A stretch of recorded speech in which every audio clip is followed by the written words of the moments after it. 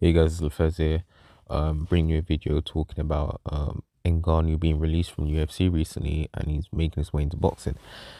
Now, hold on, give me a second here. All right, I'm back. Um, yeah, I was saying, yeah, being released from UFC and making his way into boxing. Um, you know, obviously since that news has come out, you know, people have been talking about Ngannou fighting the likes of Deontay Wilder and Tyson Fury. And I'm just sitting there thinking, I'm like, why the why in the fuck are people entertaining this shit? Why? Oh, because Ngannou is such a hard puncher and blah blah blah blah. And do I care? No. I mean, is it the first time we've seen a heavyweight, you know, boxer be able to punch hard? No. So why are we acting like it's a new thing? Boxing fans have this thing where when the fighter can punch, they fucking, you know, make it seem better than what it actually is. No, it just means a fighter can fucking punch. Doesn't make the fight any better. So again, I ask, why in the hell are people entertaining this shit? Oh, because, you know, Dana White fucked him over and by going to boxing he's gonna get a big payday and deserves it. No, he don't deserve shit. He don't deserve shit. now, was he getting fucked over by Dana White? Most probably was. A lot of UFC fighters get fucked over by Dana White. You know? Dana White's a piece of shit for that. You know? But what do you mean he deserves it? You don't deserve shit. He's still making good money. He's probably got sponsorships and deals and everything. He's he can live fine. He's doing well. So he don't deserve a big payday or anything like that. You know, he's not entitled to a big payday. What the fuck are you guys talking about? You know who's entitled to a big payday? You know, you know who deserves a big payday? The fucking boxers that spend their whole life boxing. The ones that have been training for years as amateur, have accomplished all things in the amateurs, and are now in the pros. You know, making their way as a contender in the sport. Those are the guys that deserve big paydays. There's contenders out right now that are probably, you know, that still have a job, trying to make ends meet. You know, contenders out there struggling to get, you know, a good promotional contract. You know, and they can't even get a good fight. They can't get they can't get the title shot that they've worked hard for, that they put the blood, sweat, and tears um for, that they put the hours in the gym for. They can't even get a title fight. And someone like Ngannou, who hasn't had the path that they had, can just go in there and get um, you know, a big fight. And I don't want anyone to get confused here. This is how the game works. If you have a name, it'll be a lot easier for you to get opportunities. You can't really, com- I mean, you can complain, but again, that's just real realistic. You know, if you have a name, that means you bring more money. Of course, you know you're gonna get more opportunities. I mean, we've seen comedians and musicians and whatnot who can't act for shit get these big acting roles in films. While there's actors out there that have been acting for years and years and years, auditioning for all these gigs, and the best they can get is a fucking minor role. Even at that, some of them don't even get a role at all. Some of them are told to fuck off. You know?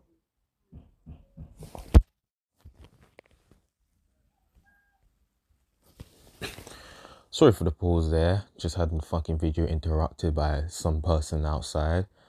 Hopefully that don't happen again because that will piss me off.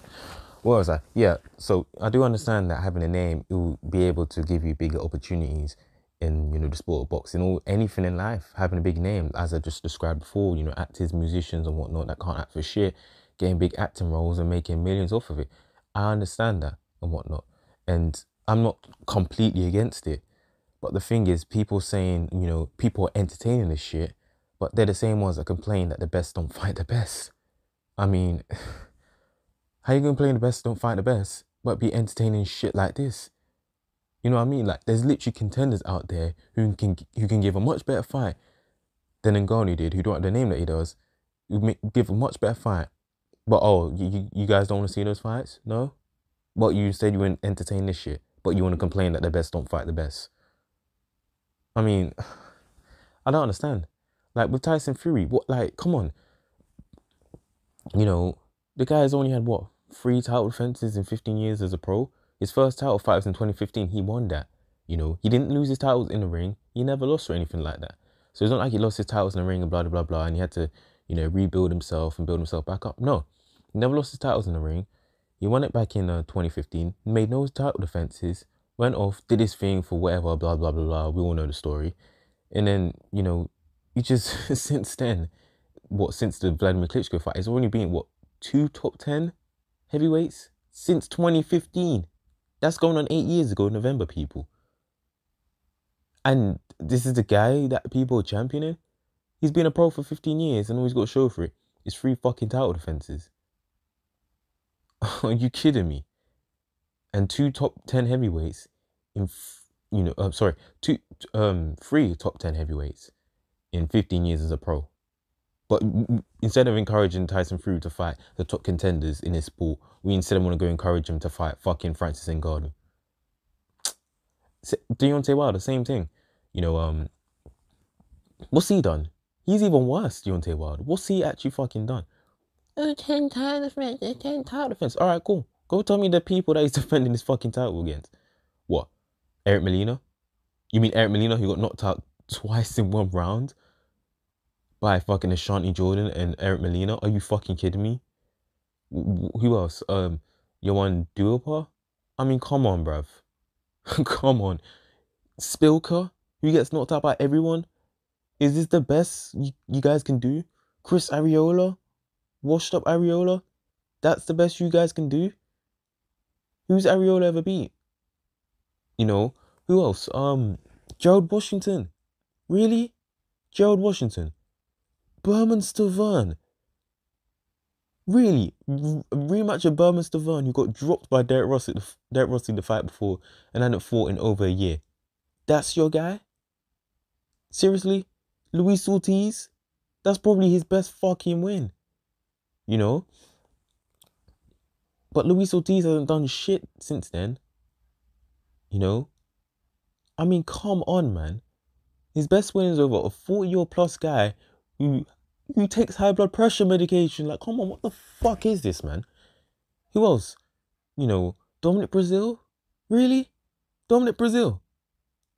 And Luis Ortiz again, like as if the first time wasn't uh, wasn't enough. You have to do it again. I mean, come on, like this resume is garbage. Yet people encouraging this guy to fight Francis Ngannou, but you want to complain the best are not fighting the best. What is wrong with you people? Why are you encouraging this shit? Why? Why? Imagine an uproar if Eddie Hearn said, "Oh, you know, we're we're looking, you know, to have Anthony Joshua fighting Ngannou." Whole heap of outrage, whole heap. And Anthony Joshua's fought way more top tens than both of them. That guy can never seem to get selected, but everyone, you know, swears blind that that guy is shit, right? Anthony Joshua can't take a punch. He's chinny. He has no stamina. He's a bodybuilder. He's overrated. He's a robot.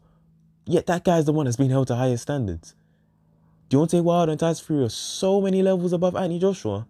Yet they, yet, yet they get held to low standards. Does that make any fucking sense? No, it fucking doesn't. It doesn't make any sense. But these people out there will think it does. Whole heap outrage if Anthony Joshua said, "Oh, I'm gonna go fight Francis Ngannou for a payday." even though he's beaten far better opponents than both of them have. I don't understand. But you want to complain that the best don't fight the best. You guys are part of the problem. If you guys weren't entertaining shit like this, fights like that wouldn't get made. Is that fucking simple? Jesus Christ, man. And I wouldn't have problems with fights like this if, you know, the fighters were actually doing what they get paid to do, which is fight you know, the top contenders and whatnot. I mean, like, Muhammad Ali, he had a bunch of these crossover fights. Like, he had his exhibition with Antonio, Antonio, uh, Antonio Inoki. I think he's a famous Japanese um, martial artist, right? He died not too long ago. Now, at the end of it, it wasn't really popular at all. You know, a lot of people didn't like it. A lot of people just, you know, didn't like it because apparently it was boring. I haven't watched the whole of that. I don't think I'm ever going to. It doesn't look that exciting. That's whole 15 rounds of all that bullshit as well. But Ali had already fought of top contenders. He already fought his champions. He's already been undisputed a couple times at that point. You know, he's already done what he gets paid to do, which is fight the top contenders. With no problems, he'll take on all comers. So yeah, I have no problem with fighters taking on fights like this in between because again, at the end of the day, these guys are human beings. They need to preserve their bodies. You can't be taking tough fight to tough fight, tough fight, tough fight, and expect to have a long career. You'll burn out quickly. You know, you burn out quick, burn out quickly. Health as well. So I can understand, you know, someone taking on tough fight the tough fight will, you know, have a crossover fight or something like that. I can understand why for easy payday. But when you're not even taking on t- um, tough opponents and you're having this shit, you're entertaining these crossover fights. No, I can't be for it. I can't be for it. You know, like I said, boxing fans are so hypocritical. You know, they they will fucking say the best on fighting the best, but entertain this shit. Oh, it's entertaining because he's got power. Who fucking cares? This is the first time we've seen a guy with power. He's not a boxer. He's not a professional boxer. We all know who's gonna win the fight. We all know who's gonna win if Fury decides to fight Ngannou. We already know who's gonna win if Wilder fights Ngannou. We already know who's gonna win. How the fuck is that entertaining? You guys say all the time it's not entertaining if you already know who's gonna win before the fight even happens. Then why the fuck are you entertaining this shit? What? Because Ngannou has a name? Just because he has a fucking name doesn't mean the fight's gonna be any good. That's the problem with you people. You buy too much into fucking names. We all know Ngannou's to gas out after the fucking second round, and we all know he's to get his ass whipped by Tyson Fury and sent to another dimension by Deontay Wilder. We already know this shit. Why do we need to see it? Why? You guys can't even explain why you want to see it. Jeez, man.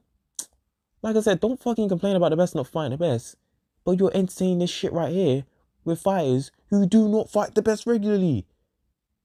Oh, but God forbid Anthony Joshua would do it when he's the one that fights the best. I can't with people, anyways. I can't with you. Anyways, it's the first. I'm out.